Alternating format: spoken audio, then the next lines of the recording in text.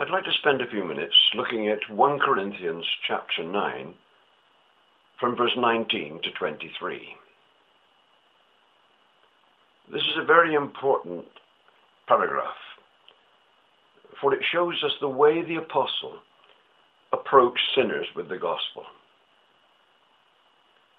I mean, one way of approaching sinners with the gospel is to say we have our theology worked out, we have our technical words, and we set out the gospel message, and I use the word message there in the sense of revelation from God. We set out the revelation from God, the message, in terms of our theology and using all our technical language, and you sinners just have to learn the language and come up to where we are and do your best at trying to cope with our theology. God, in His sovereignty, of course, will enlighten you and bring you into the liberty of Christ when you trust Him and turn from your when you turn from your sins and trust Him. Paul certainly did not adopt that method. As he tells the Corinthians, he wants to make the gospel free. For the gospel is free. The grace of God is the free grace of God, the sovereign grace of God. And Paul is determined to make the gospel free, his preaching free, when he approaches sinners. And he uses his mind. He thinks about his hearers. And his number one concern is to communicate with them. I say number one.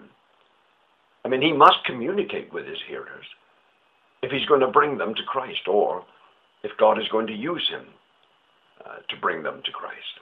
Of course, God is sovereign, and I suppose he could use a monkey talking. But Paul knows that God uses means, and we have our responsibility. And so he says, I think about my hearers, and I do what I can to communicate with men. This is a very important principle for us today. We must learn how to communicate with the sinners around us without compromising the message, the revelation of God, the gospel. And Paul gives us some key uh, help here, some instruction here. He tells us, he told the Corinthians, how he went about it. What he said, I know that in broad detail, all my hearers are divided into two groups. There are those, he, say, he says, who are under the law, who have the law. And there are those who are not under the law, who don't have the law. Now, whatever is he talking about? Well, we don't have to guess. He tells us.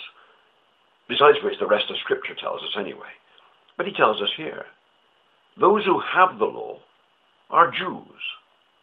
God gave the law to Israel on Mount Sinai after Israel was rescued from Egypt in the Exodus.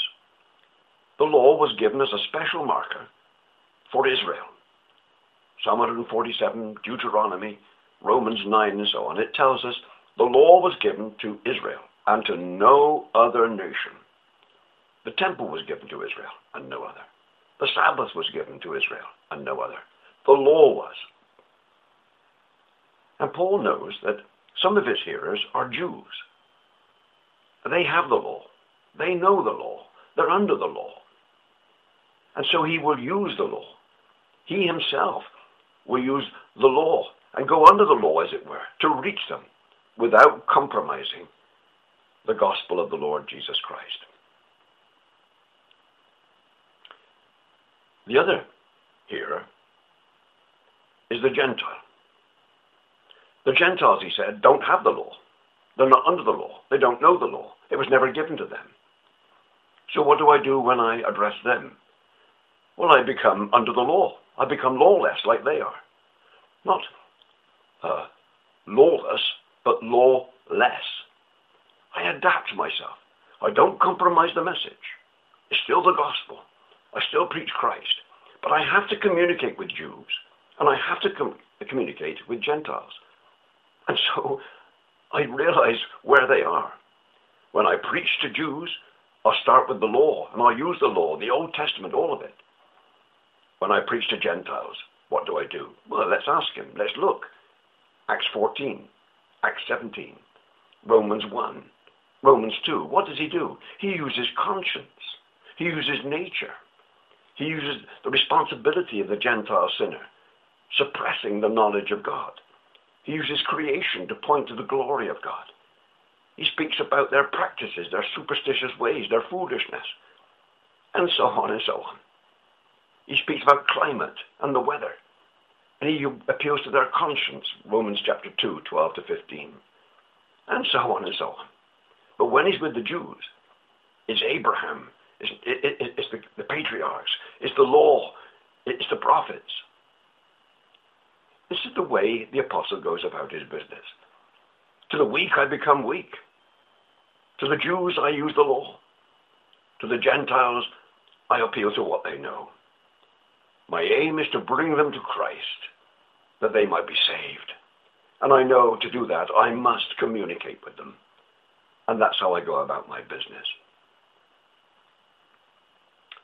Now, as I say, those lessons are paramount, vital, essential for us to grasp today in our approach to sinners. But I want to speak upon this passage, this paragraph, from the point of view of New Covenant theology made simple. But it's not made simple, it is simple. You see, according to the covenant theologians, the Reformed, the lawmen, Paul should never have written this paragraph. They don't believe a word of it in the essential. What do I mean? They believe that all men are under the law. That all men have the law written in their heart. All men know the law. But Paul divided the world into those who have the law and those who don't. Oh no, say covenant theologians. All men had the law. Adam had it. All the patriarchs had it. The Sabbath is in, the, in Genesis, Genesis 2. Well, God kept the Sabbath, it's true.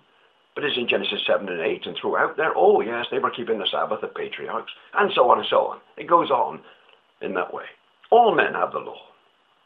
And yet Paul says expressly, some do not have the law, whereas the Jews did. Paul was unique here. Why? In this class. Because he was a believer. And all believers are unique in this sense. What do you mean? Well, he was a Jew. Therefore, he was under the law. But he had come to Christ. Therefore, he says, I'm free. I'm free. I'm liberated in Christ. I'm no longer under the law. So, but I do go back under the law when I speak to Jews. But I'm not under that law. What law are you under then, Christ, uh, Paul? Because I am under a law, he says, the law of Christ. But when I go to Gentiles, because they don't have the law, I become lawless, although I am still under the law to Christ. Can you see what he's saying?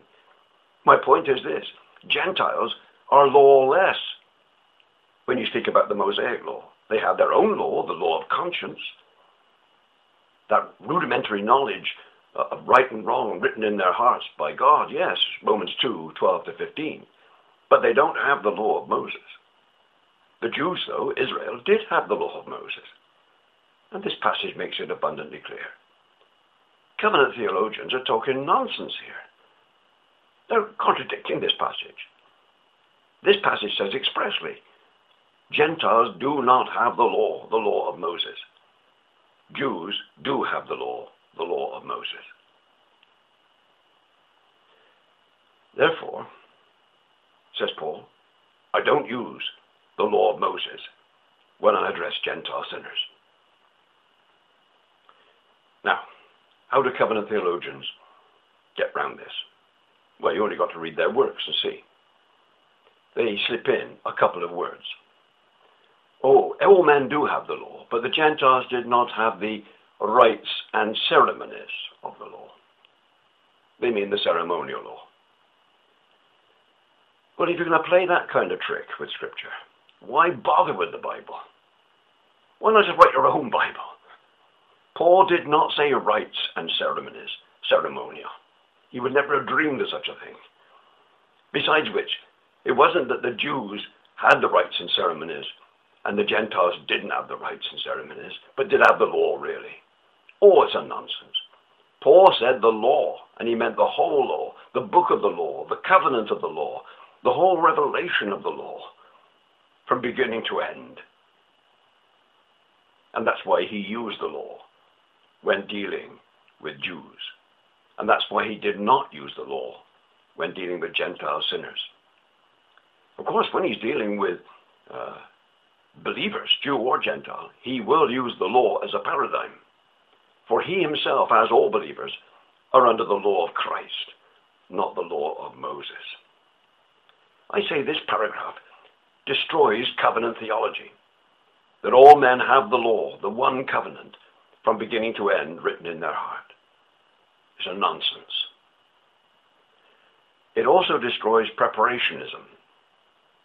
That is, covenant theologians say we must preach the law of Moses, the Ten Commandments they mean, whittling it down to the Ten Commandments. We must preach the law uh, to sinners to bring them to Christ. Paul says expressly here that I do not, when I address Gentile unbelievers, I do not preach the law to them.